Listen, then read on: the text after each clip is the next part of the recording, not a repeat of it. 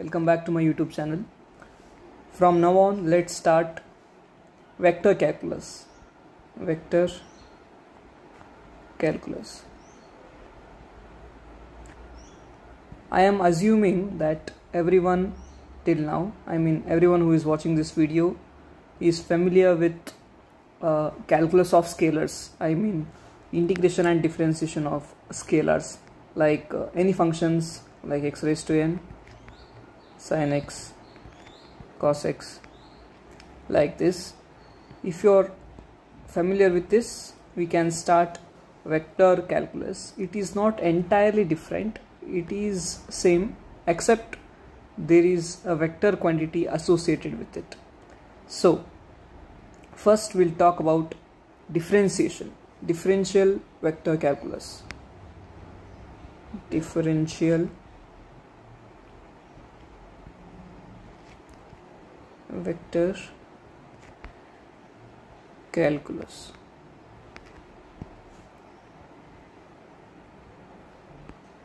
now for any vector quantity here there are three operators. First one is del operator called sorry first operator is called gradient. Second one is divergence. And third one is curl we have three major operators here in differential vector calculus. First we'll speak about gradient. Gradient operator it is the symbol of the gradient operator is like this. People also write like this. And many prefer writing like this any function. Okay. This symbol this symbol is called del operator or nabla operator. Let's let's write it down. This symbol is called del or nabla or gradient operator. Now we will we will stick on to this symbol. In the entire lecture series i'll be using this symbol.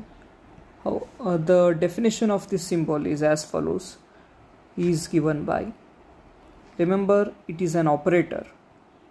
I cap into del by del x plus j cap into del by del y plus k cap into del by del z. If we operate any function on this like this let me give an example l into 5 we are operating a function we are operating this operator on this function we will get i cap into del by del x of phi plus j cap into del by del y of phi plus k cap into del by del z of phi. now let's take the example example. Mm, let's let's take it in a question form. If phi is equal to x y square z then find its gradient remember to find a gradient the function should be scalar function. This should be always scalar.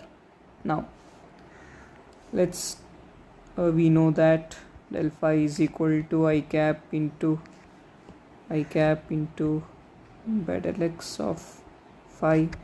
Let's take the formula first. Since it is the starting I am writing formula. Uh, moving on I'll directly write directly write the answer okay? A cap into by dz of phi. So del phi is equal to i cap into uh, I'll simplify I'll write okay?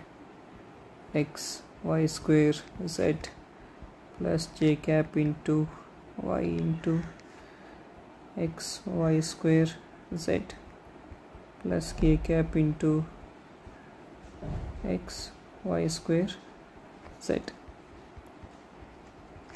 Now it is partial integration partial sorry partial differentiation.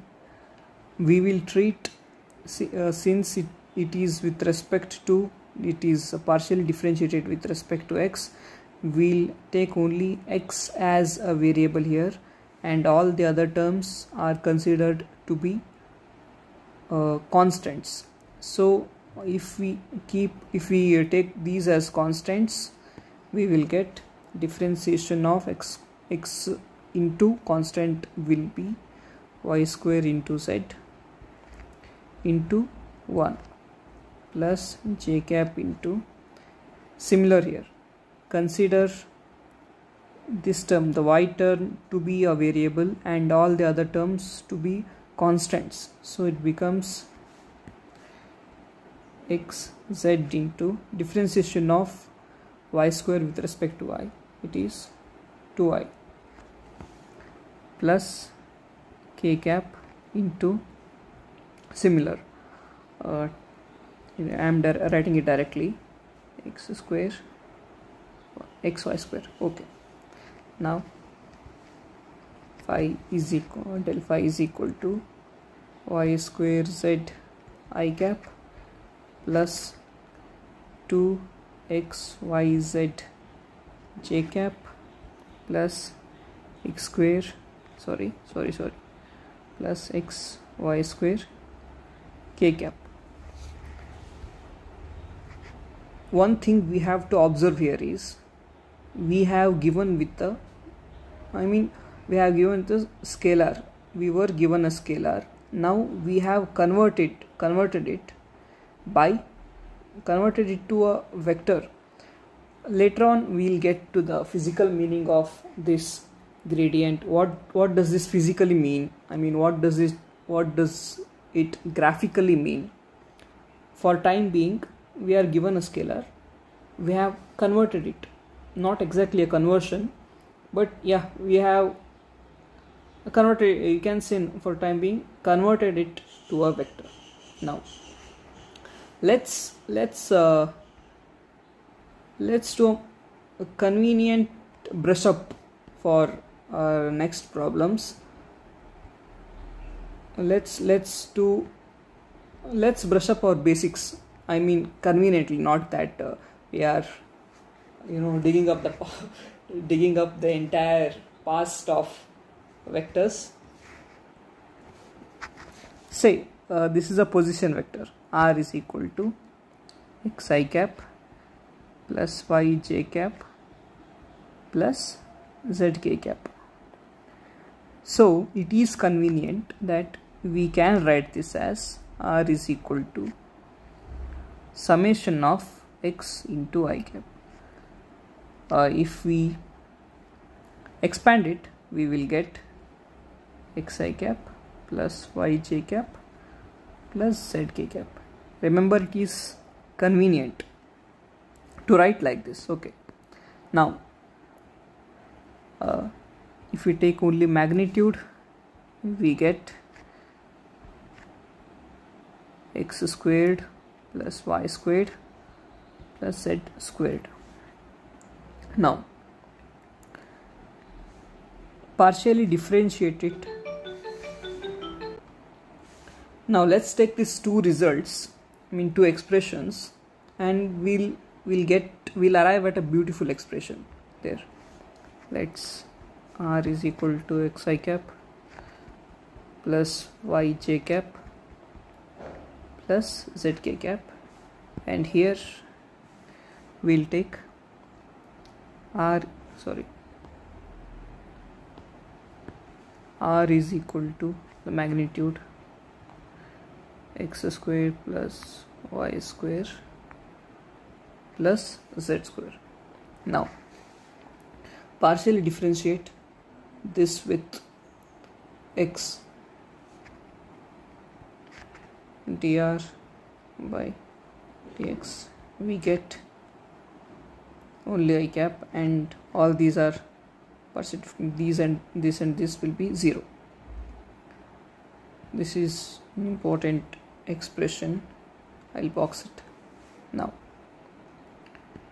Partially differentiate this this with x.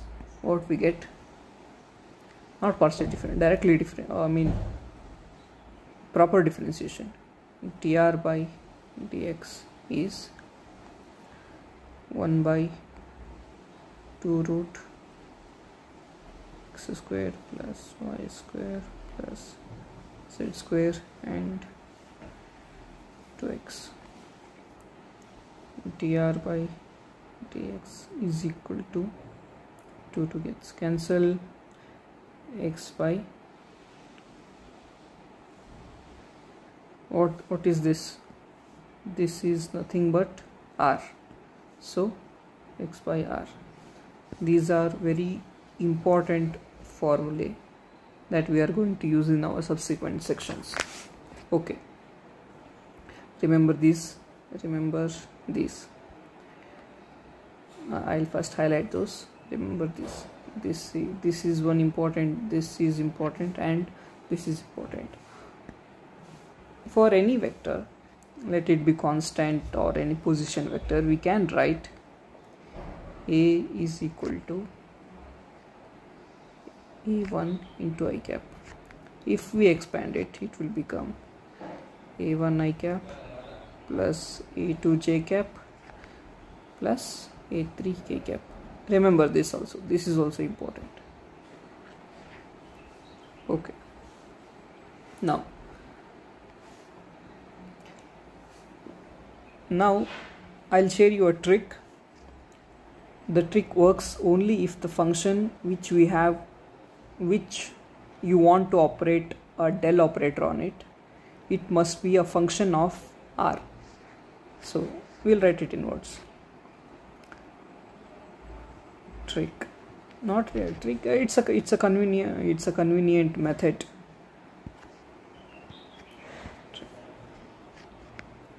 If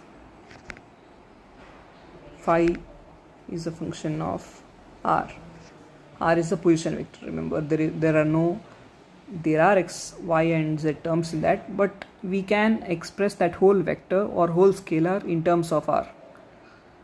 Then del phi is equal to remember this formula i cap into d by dx of phi by r. This is very useful formula. We can tackle many number of questions trust me. Let's let's take an example. Let's let's solve few questions. Question. Phi is equal to x square plus y square plus z square into 90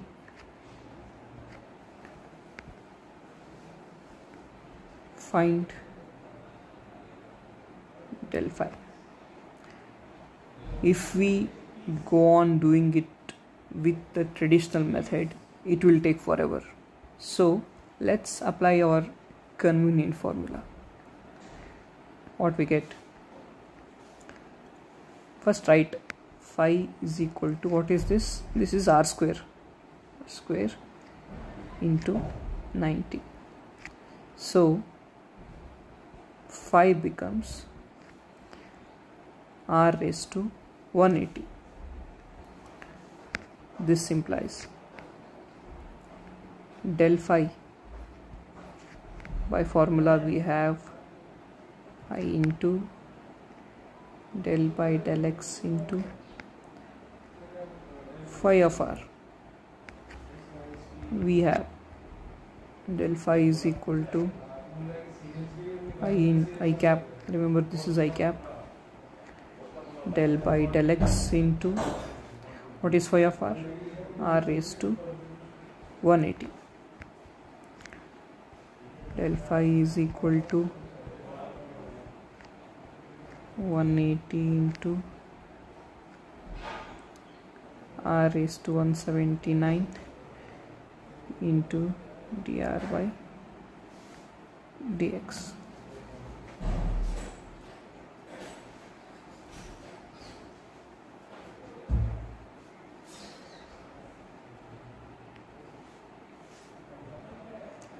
I am sorry this is indeed a partial derivative.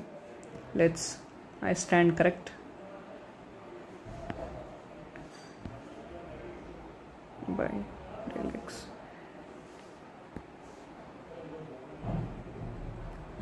we will have here. Lr by del x okay. Now coming back to our problem. It implies del phi i cap into 180 into r raised to 179 del r by del x is equal to x by r. What we get? Del phi is equal to cap into uh, 180 comes outside. Let's take let's uh, take everything outside except x. 180 into r raised to 179 whether r comes outside? Yes it comes outside. Divided by r a cap into x. Right. This implies del phi is equal to 180 into r raised to 178 into what is this? As I have already told this is r. So it implies del phi is equal to 180 into r raised to 178 into r vector. In question since they have asked in terms of x y and z we can write r square is equal to x square plus y square plus z square. We can just just a simplification del phi is equal to 180 into r is to 178 means square plus y square plus z square. 178 divided by 2 means uh, it's a 16 1 I guess it's 178 what is 178 divided by 2 ones are 2 8s are 16 189 89 okay. 89 into xi cap plus yj cap plus zk cap. So this is our answer. Uh, i'd like i'd like to do more problem problems. I'd like you to practice more pro problems. We'll continue we'll continue this lecture series uh, in the coming days. I hope you support this video. Do share subscribe like and comment. Uh, genuinely comment how how it is like to listen the listen to this series. Thank you